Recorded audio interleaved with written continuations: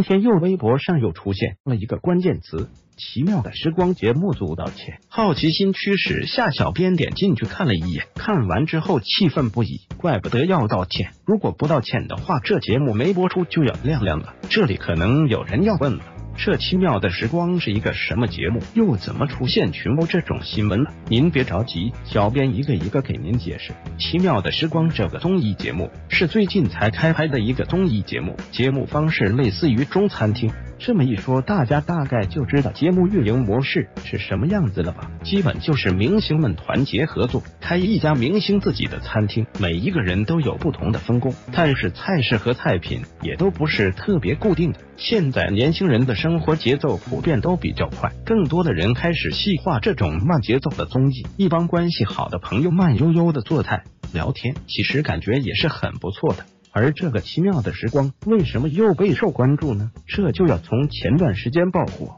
的偶像练习生说起了。这一次奇妙的时光，其中的嘉宾阵容就有百分之九少年团的队员。据说范丞丞和朱正廷将会作为 MC 出现在节目中。就是这么一个几乎是备受关注的综艺节目，怎么会扑出群殴这种丑闻？小编本来也是不相信的，因为将会在爱奇艺上播出，毕竟爱奇艺平台家大业大。不说别的。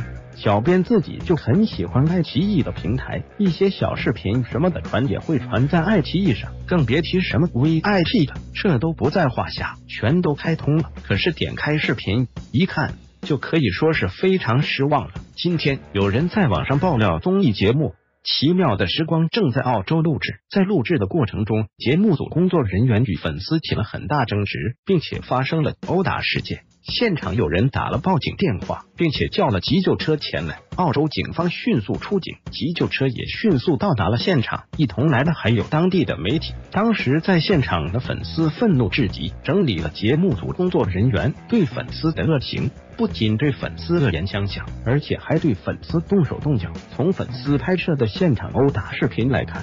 当时先是一群人殴打一名男子，该男子一直在逃跑，然而却遭到追击，继续被围攻。有粉丝留言，趁该男子是粉丝包车的司机。小编看完视频是真的发自内心的觉得愤怒，那个人做错了什么，要那么死追着不放的打人家？不仅打男司机，就连女粉丝也不放过。但是小编觉得这个节目组不仅是最让人愤怒的节目组。还是道歉最快的一个。北京时间下午四点半，节目组官方微博迅速发表道歉声明，声明中称会积极配合当地警方以及媒体的调查，并会第一时间告诉网友们的处理结果。但是这个声明，大多数网友并不买账，纷纷表示：你们的工作人员行为，请别让艺人来买单，这个锅艺人可背不起。小编对此也是无奈不已。好好的一个节目。